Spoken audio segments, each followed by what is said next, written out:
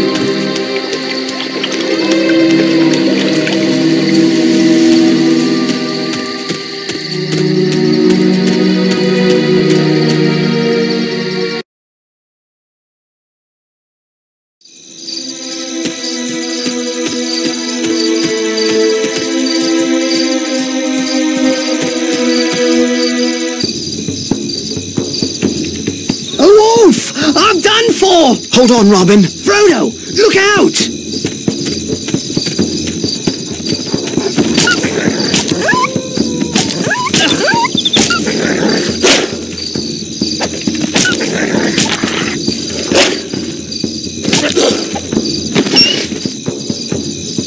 Ah, Frodo, I am in your debt. If you hadn't come along, I'd be a midnight morsel for that beast. I'm glad you're all right, Robin. We've not seen wolves for a hundred years. So I hear Oh, it's an ill omen. What could it mean? that I'd better get going. What? Oh, right you are, Frodo. And I should get back on patrol. Yes, but tell the other sheriffs to watch for more dangers in the Shire. Yes, of course. I'm still shaking from that beast, you know. I have to go, Robin.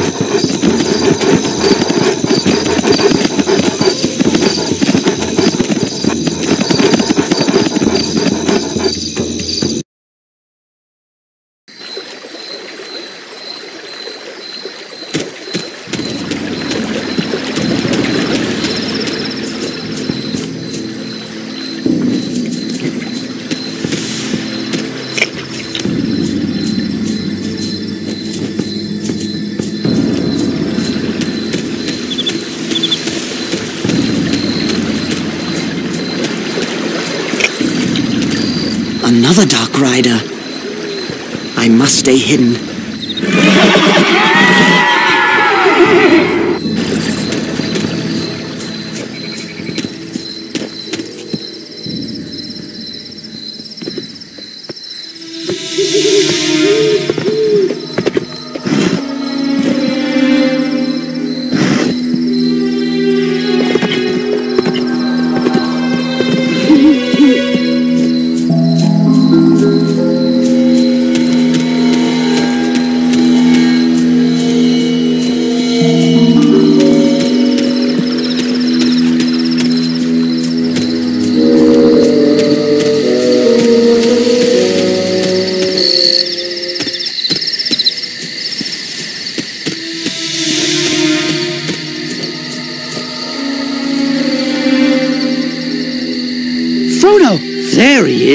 Old sluggard. What kept you, cousin? Stop by the Green Dragon on your way out? Never mind why, but I can't stay. I have to leave right now for Crickhollow. You mean Rivendell, and we're coming with you. You thought you were so clever, but our conspiracy outsmarted you. We know all about the ring and the Dark Lord, so we're going to protect you. But how did you know? How could we not know, with you muttering, Will I ever see that valley again? You really have the Sackville Bagginses to thank. I was practicing sneaking up on Bilbo one day when he heard Lotho calling after him. Bilbo put on the ring and vanished. We kept our eyes open after that. We spied on you and Gandalf. How? Well, through our chief conspirator. Until he got caught. And Gandalf did say, take those as you can trust. It seems I can't trust anyone. You can trust us to stick with you to the bitter end. We've kept your secret better than you did. But you can't trust us to let you face danger alone. Even though we're horribly afraid, we're coming with you. Or following after like hounds. Dogs! No, Sam. Hounds. Maggot's dogs! They're coming! Rip! Fang! Wolf! Come on, lads! They're An old maggot, too, by the sound of it. So much for stealing some mushrooms before we go. What's all this chatter at this hour of the night? Speak up! Good evening, Mr. Maggot. Well, if it isn't Peregrine Took. You're lucky I know you. I was about to set my dogs loose. The most outlandish fellow rode through here, asking strange questions. Here, who's that with you, Pippin? You remember Merry Meriadoc Brandybuck. Allow me to introduce Samwise Gamgee and... Frodo Baggins. Uh, good to see you again, sir. Baggins. Now, isn't that strangest of all? What do you think that stranger was asking about? He came riding up on a black horse in black cloak and hood, and he asked for Baggins. Oh, that would be a different Baggins. I told him all the Bagginses are in Hobbiton. He says Baggins is heading east on foot, and now Frodo Baggins shows up on my farm. The same Frodo Baggins who was one of the worst young rascals around, I might add. Frodo's much better behaved these days. Where are you headed? To my new home in Crick Hollow. I can see you're in trouble, Frodo. You should never have gotten mixed up with those strange Hobbiton folk. I wager that Outlander has come for the gold Bilbo brought back from foreign parts. Well, I think it's time we were going. No, he'll be waiting. You will ride out in my wagon, hidden from sight. Thank you, sir. It's a pity I've been in terror of your dogs. I've missed a good friend. Indeed. Shall we go now? I'll ready the wagon. Farmer Maggot's wagon carried us safely away from his farm and into the borders of Buckland. But the Black Rider was still thundering along the East Road. We decided to go south and cut through the Old Forest. Merry had been in the Old Forest and knew a little of its ways. It's a dark, mysterious place, but not as dangerous as a Black Rider.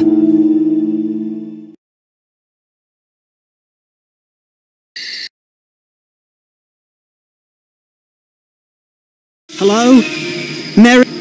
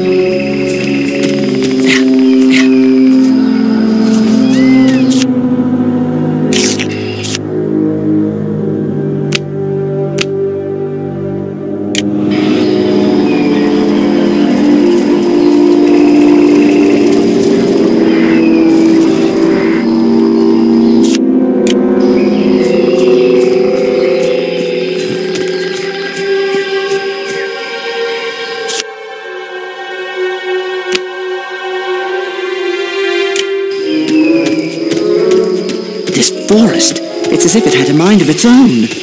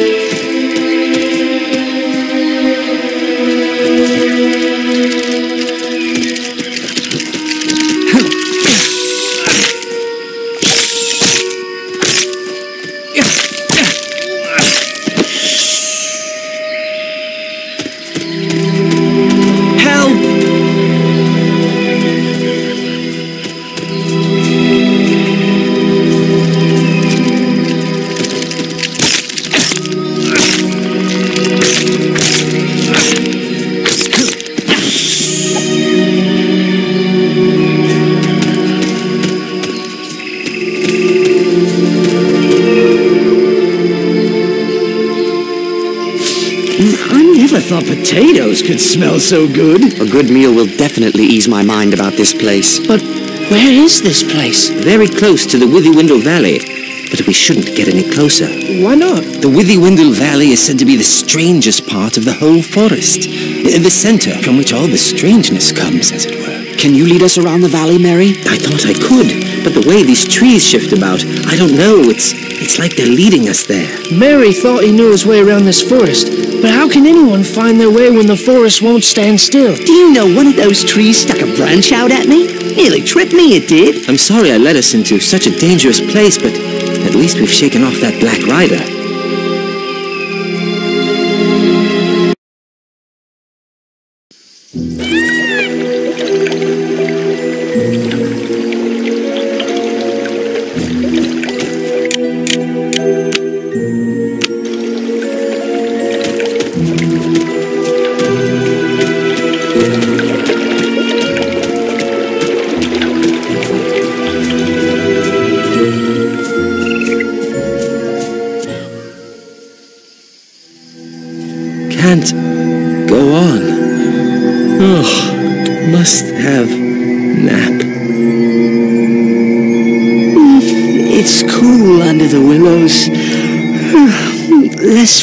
I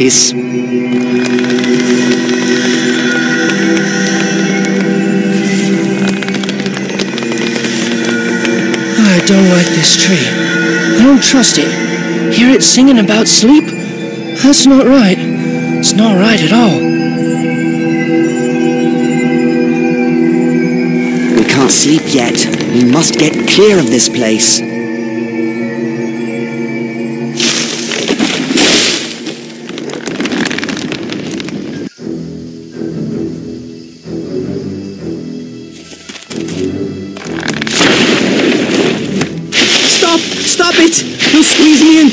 Don't stop.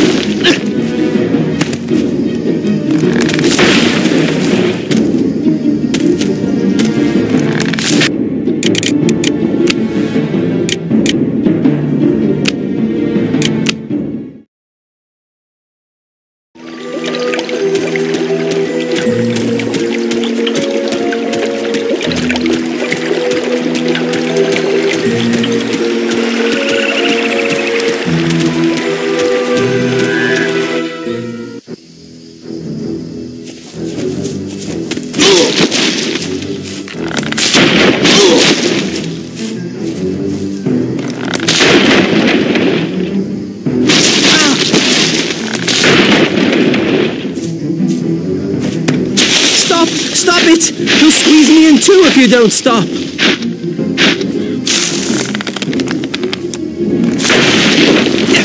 Stop! Stop it! You'll squeeze me in too if you don't stop.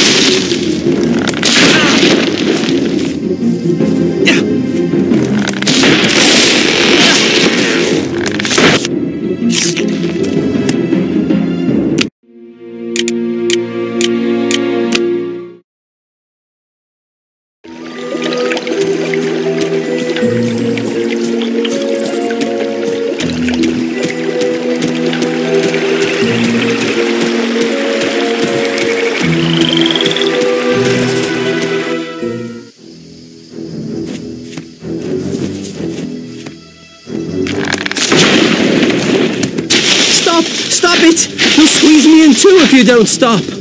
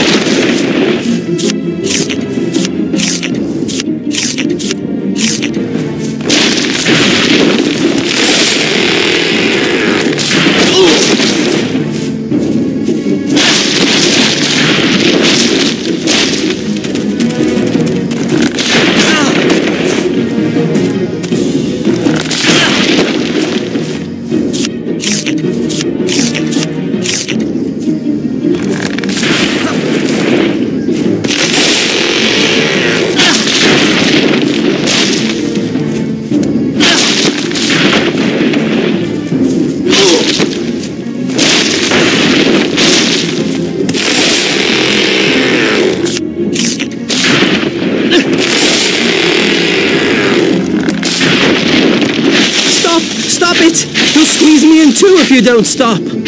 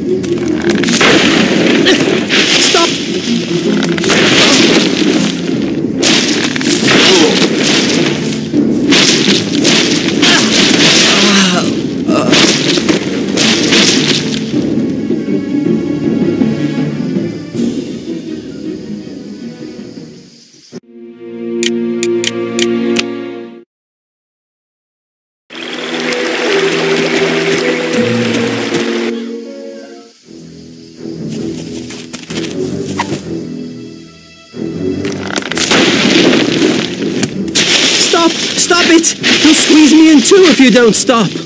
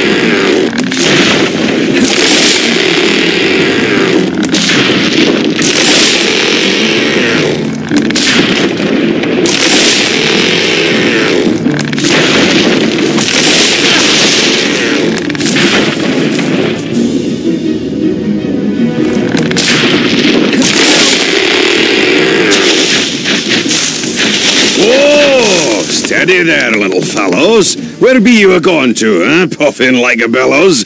What's the matter then? Come now, tell me what's your trouble. My friends are caught in that willow tree. Old man Willow.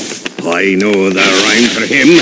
I'll chant his marrow cold if he don't behave himself. You let them out again, old man Willow. You should not be waking. Eat earth, drink water, go to sleep. Bombadil is talking. Thank you. Yes. Thank you. Very much. Well, my little fellows, you shall come to the house of Tom Bombadil. Where? Time enough for questions around the supper table. Come now, and help Tom find lilies for fair Lady Goldberry. After that, we shall sit down to a table laden with cream, honeycomb and white bread and butter. What are we waiting for? The sooner we find lilies, the sooner we can eat.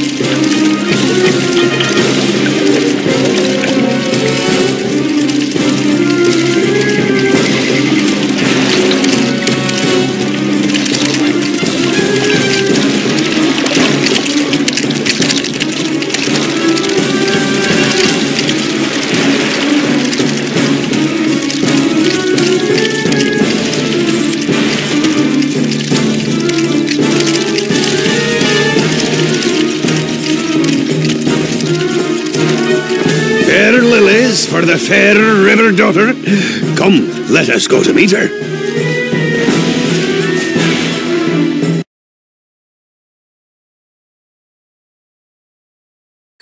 Come, dear folk, laugh and be merry.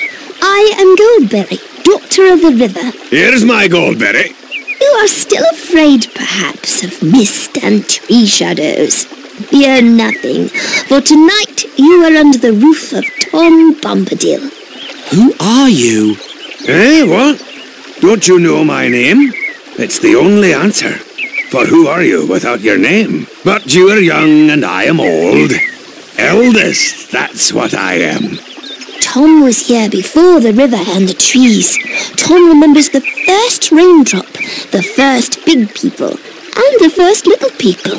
He was here before kings and barrow wights, before the elves passed westward, and before the seas were bent.